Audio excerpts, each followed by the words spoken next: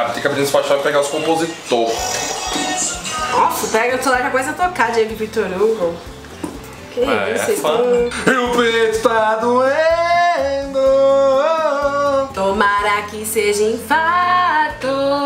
Eles vão compartilhar essa parte, a gente vai passar vergonha. Maria, rapaz. É isso mesmo. O EP inteiro está na nossa cabeça. Tem que falar o quê? Vai resenhar o quê de um EP desse? Roda a vinheta aí. E o peito tá doendo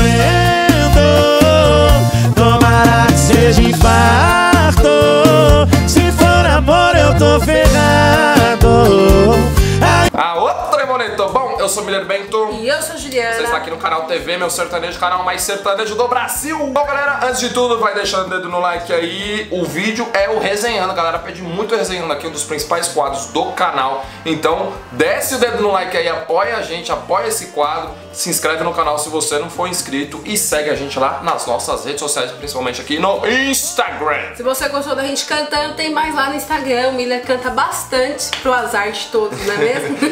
Todo making off de todos os vídeos sempre vai nos nossos Instagrams, então corre lá. Ai, Miller, como que a gente vai resenhar um, um negócio que não tem música ruim? Nossa senhora, vocês sabem que o nosso desenhando sempre a gente tenta puxar um pouquinho a crítica. Eu tenho uma crítica nesse EP. Eu tenho uma crítica que eu vou fazer no final desse EP aqui. Então é isso, galera. A dupla Diego e Vitor Hugo, a dupla de Uberlândia, Minas Gerais. Eles estão no segundo trabalho. A dupla, a dupla nasce a partir do momento que ela estoura, né? Mas antes disso, eu já acompanhava, já compartilhava muita música dos meninos. Lançavam sempre single. Eu lembro que eles lançaram um CD muito bom, de qualidade, com participações de Jades e Jadson, entre muitas, muitas, é, muitas músicas. E o legal da dupla é o Vitor Hugo escreve a maioria das músicas da dupla. Então ele leva muita essência que é a dupla. E mesmo depois do, da explosão, que foi a música O Alvo, né? Que você provavelmente já deve ter escutado, que foi uma explosão no Brasil inteiro. A gente ainda consegue ver o nome do Vitor Hugo em muitas músicas, em muitos DVDs Exato. atuais. Então ele não parou de escrever, é um artista completo, é uma dupla completa. Vocês vão ver que esse EP, gente, não tem nem o que falar. Exatamente, o primeiro DVD, porque agora é P barra DVD, né? O primeiro DVD que teve participação de Mário Maraíza, Henrique Juliano, e Jadson, Bruno Marrone, né? É, teve aquela surpresa do Henrique, né? Que foi o ponto alto do DVD. Não veio pra consagrar. Pra levar os meninos, pra espalhar os meninos Pra espalhar os meninos pro Brasil, né? E eu acho que esse EP veio pra consagrar literalmente a carreira dos meninos, né? Muscou Alvo andou no Brasil inteiro. Sim. Eles entraram pra workshop após o DVD. É uma dupla que, como que eu disse, teve- tem essência muito sertaneja, né? Isso que a gente tá precisando muito no mercado. E agora, em 2019, eles vêm pra consagrar literalmente com este EP. Esse EP foi produzido pelo Juninho Melo. A primeira, vamos logo com a música de trabalho que É, a primeira música. É a música Infarto, gente. É uma música que eu acho que a composição dela é totalmente diferente. Só o nome, né? Infarto já é. Já teve a transplante, agora tem o infarto, não é mesmo? Meu peito tá doendo. Confere É um pouquinho, É um gente. refrão muito bom, né? Um refrão chiclete, vamos dizer, comercial demais. Escuta um pouco da música.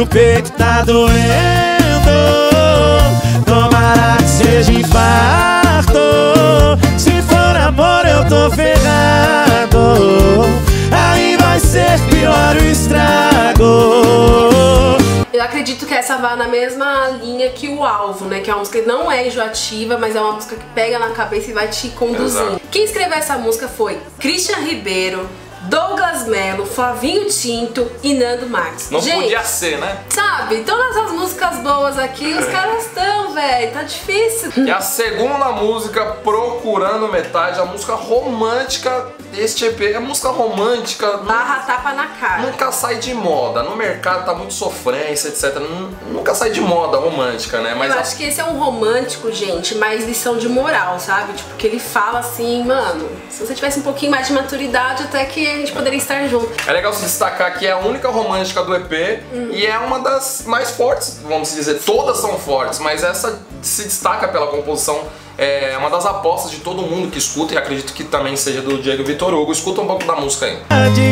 Talvez essa vergonha que eu sinto agora Seria saudade Se você tivesse só um pouco mais de maturidade Você não tava com o coração por aí Procurando metade. Essa música é escrita por Matheus Marcolino e Thales Lessa. Tinha como ficar ruim? Não tinha, gente. Eu tô Pois falando é. pra vocês. Aí agora pra mim, gente, vem a, a melhor música desse EP. É a música que pegou meu coração. Pra mim também. É diferente, não precisou ser tipo mais do mesmo pra pegar o meu coração. Que é a música Toca o Raul. Que é, o nome lembra a música de MPB, não lembra? Lembra. Mas maravilhosa, uma sofrencinha gostosa, gente. Confere aí, só confere que não tem nem o que falar. Essa sofrência ainda vai matar alguém Quando esse violão faz Essa sofrência ainda vai matar alguém Quando esse violão faz. O coração na hora lembra de alguém Quando esse violão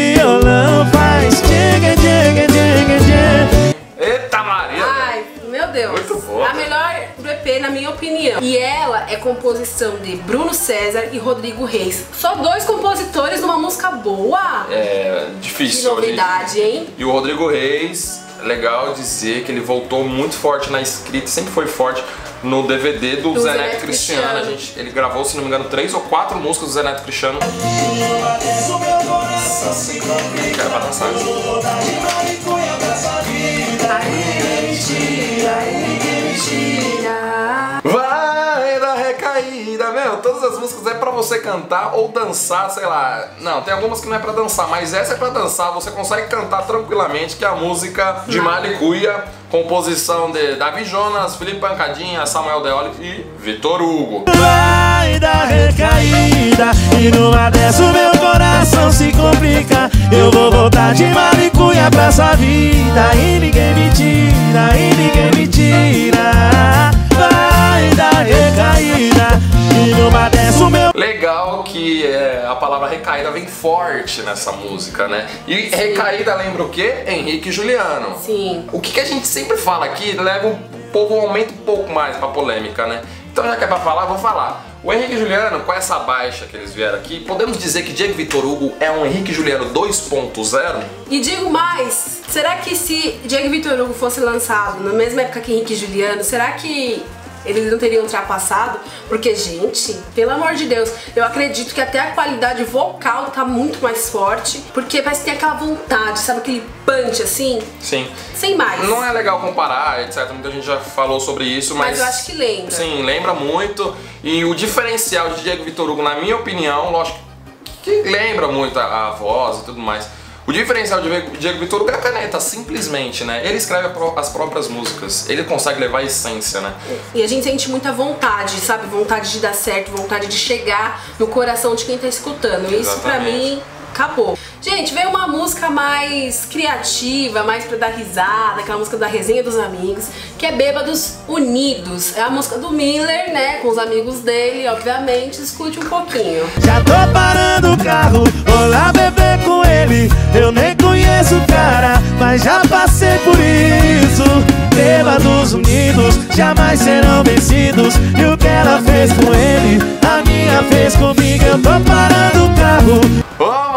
deu erro aí na segunda parte do vídeo. Então, como a gente achou que o vídeo ficou muito bom e merece ser postado, pra gente é um dos melhores álbuns de 2018, a gente vai. Eu tô fazendo essa correção aqui pra deixar registrada as duas últimas músicas. Escuta aí Amor de Primeira, moçada. Metade de mim é saudade E a outra metade é você Que vontade de te jogar na cama e fazer Um amor de primeira daqueles com gosto de primeira vez. Como ninguém fez, como ninguém fez Essa música é a composição de Benício Neto, Júnior Gomes e Vini Show. E a outra música é Localiza aí, uma das mais fortes deste EP, na minha opinião. Confere a música aí. Agora localiza aí meu coração Evitando amargar, se enchendo a cara em algum balcão Dessa cidade